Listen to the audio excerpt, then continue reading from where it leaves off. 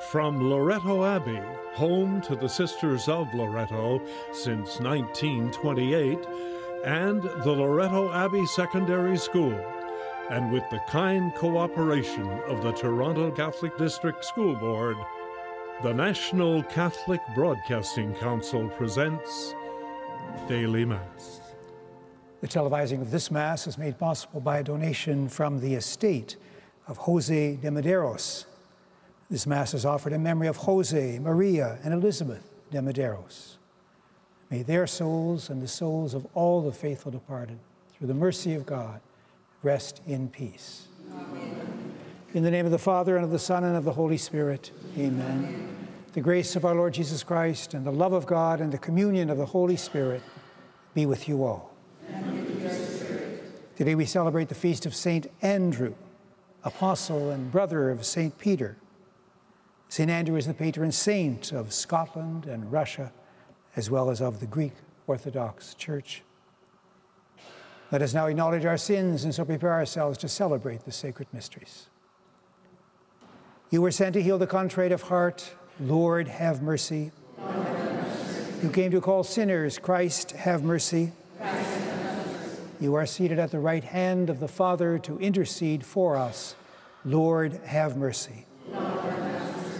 May Almighty God have mercy on us, forgive us our sins, and bring us to everlasting life. Amen. Glory to God in the highest, and on earth peace to people of good will. We praise you, we bless you, we adore you, we glorify you, we give you thanks for your great glory. Lord God, heavenly King, O God, Almighty Father, Lord Jesus Christ, only begotten Son, Lord God, Lamb of God, Son of the Father, you take away the sins of the world, have mercy on us. You take away the sins of the world, receive our prayer. You are seated at the right hand of the Father, have mercy on us. For you alone are the Holy One, you alone are the Lord, you alone are the Most High, Jesus Christ, with the Holy Spirit, in the glory of God the Father. Amen. Let us pray. We humbly implore your majesty, O Lord, that just as the blessed apostle Andrew was for your church a preacher and pastor, so he may be for us a constant intercessor before you. Through our Lord Jesus Christ, your Son, who lives and reigns with you in the unity of the Holy Spirit, one God, forever and ever. A reading from the letter of Paul to the Romans. If you confess with your lips that Jesus is Lord and believe in your heart that God raised him from the dead, you will be saved. For one believes with the heart and so is justified, and one confesses with the mouth and so is saved. The scripture says, No one who believes in him will be put to shame, for there is no distinction between Jew and Greek, the same Lord is Lord of all, and is generous to all who call on him. For everyone who calls on the name of the Lord shall be saved. But how are they to call on one in whom they have not believed? And how are they to believe in one of whom they have never heard? And how are they to be to hear without someone to proclaim him? And how are they to proclaim him unless they are sent? As it is written, How beautiful are the feet of those who bring good news! But not all have obeyed the good news. For Isaiah says, Lord, who has believed our message? So faith comes from what is heard, and what is heard comes through the word of Christ. But I ask, have they not heard? Indeed, they have. For their voice has gone out to all the earth, and their words to the ends of the world. The word of the Lord.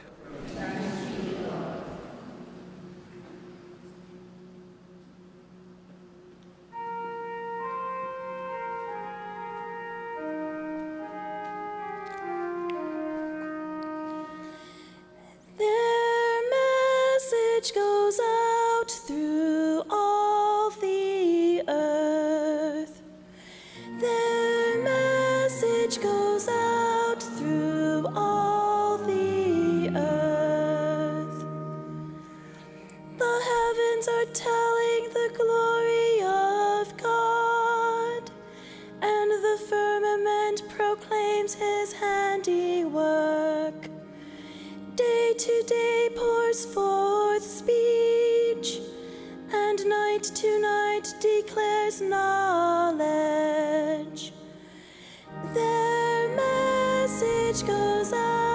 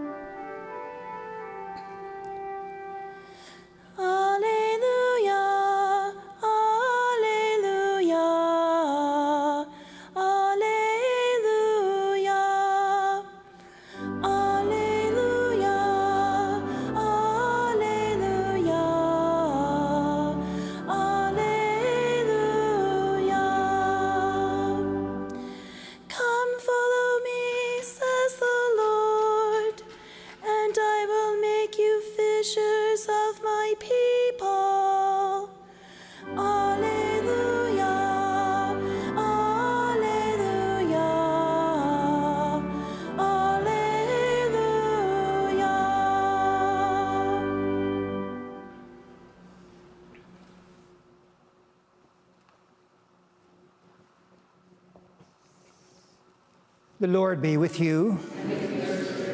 A reading from the Holy Gospel according to Matthew.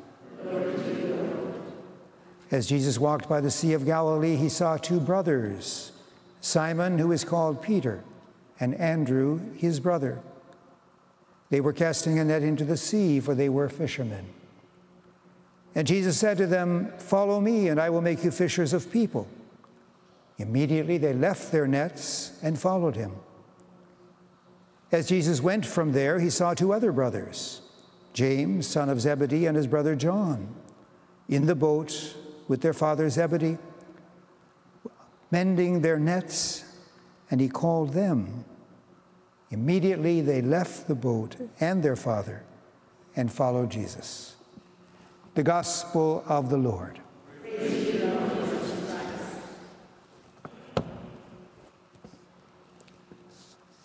Today's gospel contains a brief account of the invitation extended by Jesus to the brothers, Peter and Andrew, both fishermen, to become his disciples.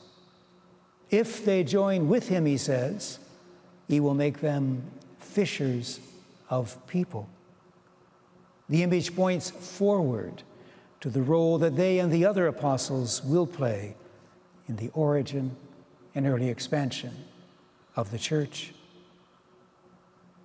The decisive factor in whether or not individuals become Christians and members of the church is faith. Faith in God. Faith in Jesus as the Messiah and Son of God. Faith, too, in the forgiveness and reconciliation that have been won for us by Christ. As St. Paul once put it, Jesus was handed over to death for our sins and was raised for our justification. The apostles were above all preachers and teachers, missionaries who proclaimed the gospel, the good news of salvation in various cities, towns, and countries around the Mediterranean and further east. It was their preaching and the preaching of others who joined with them in their task that called the church into being and enabled it to grow. In today's first reading, taken from Paul's letter to the Romans, the apostle emphasizes the important role of preachers and teachers in the life of the church. Given that salvation requires faith, how, he asks, is a person to believe in someone of whom they have never heard? If, however, people are to hear, hear about Jesus and about the meaning of his life for us, someone must speak to them. But for someone to do that, they must be entrusted with the responsibility and authority to do so. Paul sums up his argument this way So faith comes from what is heard, and what is heard comes ultimately from the word of Christ. The word apostle comes from a Greek word meaning someone who is sent. The original sending of the apostles by the risen Jesus to preach the gospel continues in the life of the church. It is the responsibility not only of deacons, priests, and bishops, but to different degrees and in different ways of all believers. Just as the church was initially called into existence by the preaching of the word, so it continues to live and to be renewed by its ongoing proclamation. The vocation of all believers, like that of the apostles, is to bear witness by word and example to the good news of salvation. As important, however, as the spoken word is, by itself it is not enough. Many people in the past and today have heard and read about Jesus, but do not respond to him in faith. For that, something more is needed, more than simply interest in and goodwill. St. Paul once put it this way No one can say Jesus is Lord except by the Holy Spirit. Christian faith, in the full sense of the word, requires both a spoken or written word that comes to us from without and an inner transformation of the heart. Paul identifies this inner transformation with the working of the Holy Spirit within us. The Spirit puts us, as it were, in tune with God and with Christ, so that when we hear about them, a positive response is awakened in our heart. We recognize the truth of what is being said to us and embrace it in faith. St. Augustine, in his long and often winding journey to faith, gradually found his earlier objections to the gospel message overcome. But even then, he was unable to commit himself. That only became possible when he realized his need for God's healing and renewing presence in his heart, his need for what he came to identify as God's grace. The word grace means a gift, something freely given. Over the centuries, it came for many Christians to stand for the gift of the Spirit, that God given source in us of faith and hope and love. To speak of grace is to speak both of the graciousness of God turned to us in Jesus and of the transforming power in us of the Spirit. Advent celebrates the threefold coming of Christ in the past, the present, and the future. We recall his coming some 2,000 years ago, his future coming at the end of time, and his coming here and now into our hearts and into our world. As much as the word advent puts the emphasis on the coming of Christ, it also implies that we have to put to be, we have to do our part in order to prepare for his coming. We know how important preparations are for our own Christmas celebrations. The choosing of gifts, the going to parties of various kinds, the welcoming of guests into our home, a special meal. Such things require time and effort, time that we often feel we don't have, and effort that can sometimes be extremely taxing. Not surprisingly, our preparation for the coming of Christ also demands an effort, an effort of mind and heart. The liturgy of Advent is full of wonderful texts evoking the hopes of Israel's prophets, the life of Jesus, the preaching of the apostles, and our hope one day to share in eternal life with the risen Christ. In order for these texts to bear their intended fruit in us, we have to approach them with the right disposition. For that, we need to ask God to pour out His Spirit, His grace on us. Ask Him to give us a mind and heart that will resonate with and respond to the mystery of His graciousness turned to us in Christ. Let us now, in faith and trust, present before God our needs. For all of us, that we will remain faithful to the witness and teaching of the apostles, let us pray to the Lord. For the intentions of our donors and of all those who have written and phoned in asking for our prayers, let us pray to the Lord. For a greater commitment on the part of governments and individuals all around the globe to the care of our common home, the earth, let us pray to the Lord. For doctors, nurses, and everyone else involved in health care, that they may be renewed in their commitment to their patients, let us pray to the Lord. For our deceased relatives and friends, and for those who have died this past night, that they will be brought to eternal life in God, let us pray to the Lord. Gracious God, we ask you to hear and grant these prayers as well as the more personal ones that each one of us has in his or her own heart. All this we pray through Christ our Lord. Amen.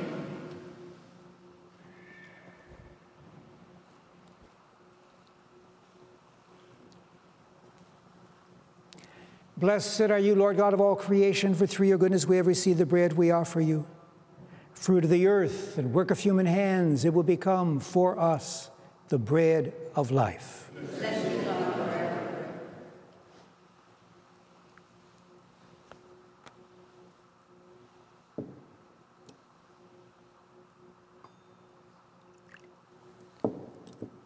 By the mingling of this water and wine, become partakers of his divinity, who became partaker of our humanity.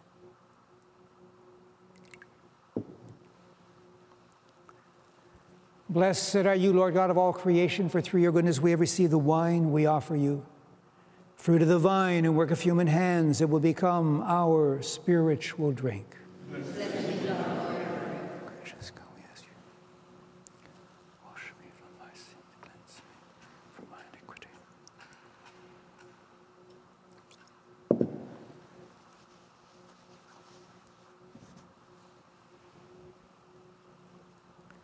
Pray, brothers and sisters, that my sacrifice and yours may be made acceptable to God, the Father Almighty.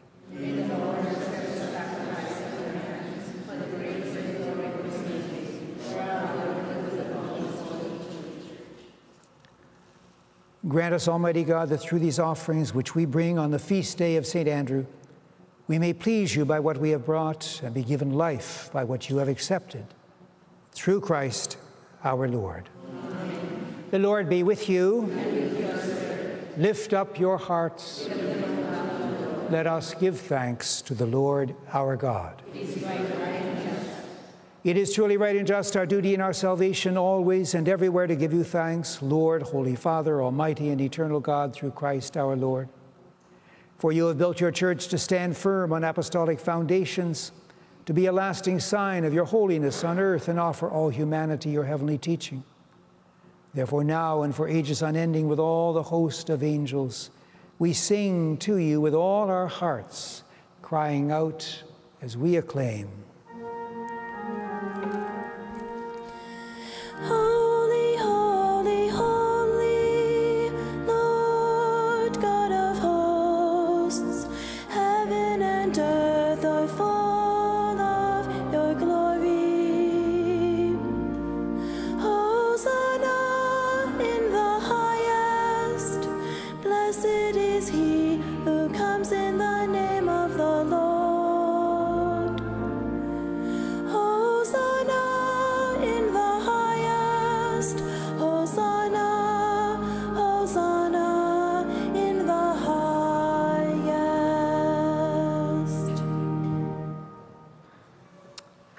Are indeed holy, O Lord, the fount of all holiness. Make holy, therefore, these gifts, we pray, by sending down your Spirit upon them like the dewfall, so that they may become for us the body and blood of our Lord Jesus Christ. At the time he was betrayed and entered willingly into his passion, he took bread and giving thanks, broke it, gave it to his disciples, saying, Take this, all of you, and eat of it, for this is my body, which will be given up for you.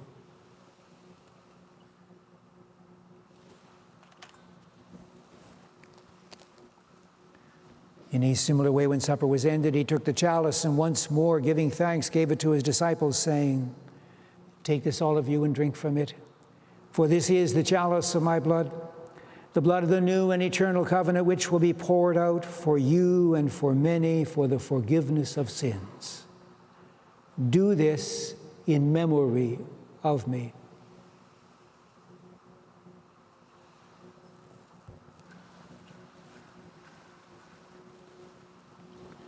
The mystery of faith. When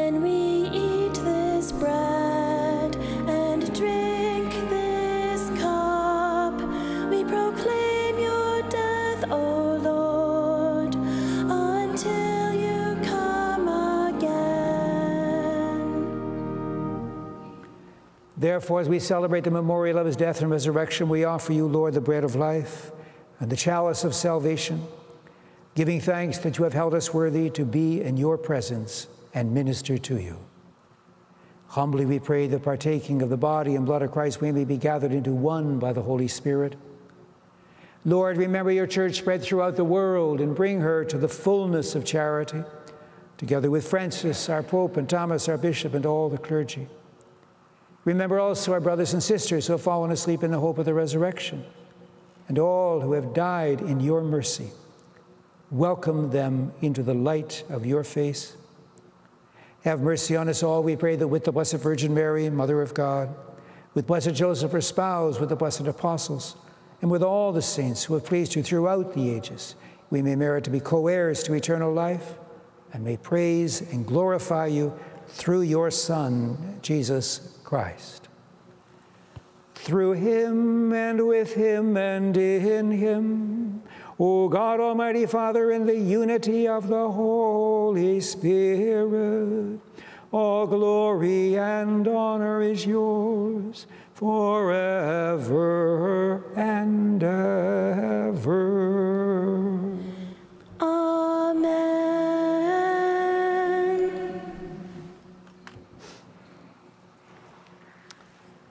At the Savior's command, informed by divine teaching, we dare to say, Our Father, who art in heaven, hallowed be thy name. Thy kingdom come, thy will be done on earth as it is in heaven.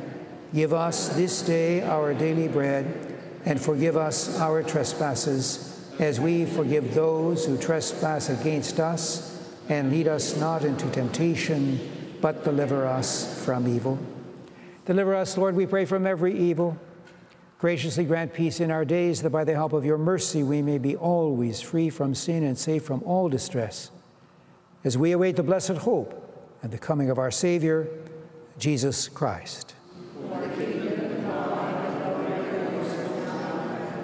Lord Jesus Christ, you said to your apostles, Peace I leave you, my peace I give you. Look not upon our sins, but upon the faith of your church and graciously grant her peace and unity in accordance with your will, who live and reign forever and ever.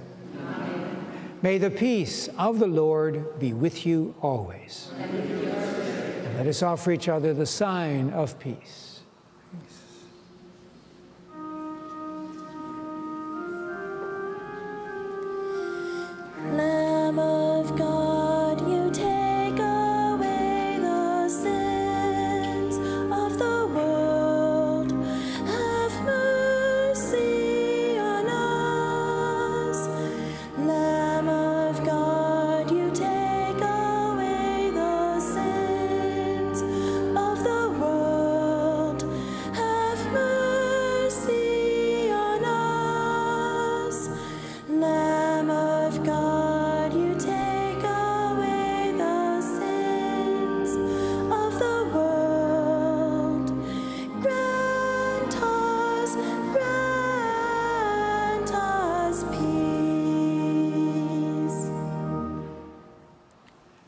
Behold the Lamb of God, behold him who takes away the sins of the world. Blessed are those called to the supper of the Lamb.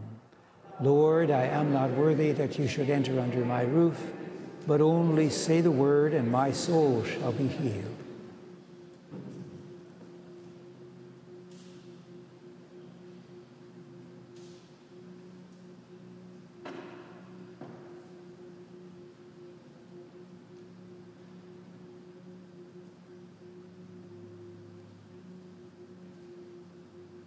Would those of you at home join with me now in this prayer for peace by Pope Pius XII?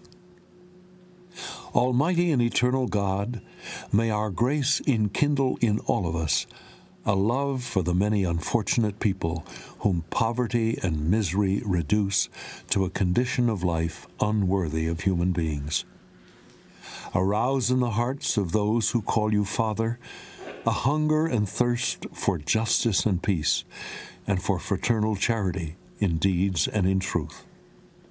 Grant, O Lord, peace in our days, peace to souls, peace to families, peace to our country, and peace among nations. Amen.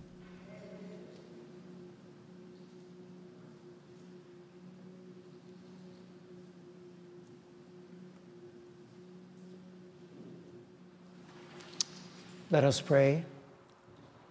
May communion in your sacraments strengthen us, O Lord, so that by the example of the blessed Apostle Andrew, we who carry in our body the death of Christ may merit to live with him in glory, who lives and reigns forever and ever. Amen. The Lord be with you. With may Almighty God bless you, the Father, the Son, and the Holy Spirit. Amen. Go in peace.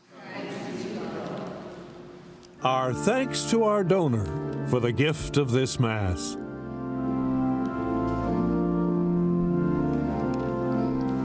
Please remember that all requests for prayers are included in our Prayer Intentions book and shared with all of our celebrants.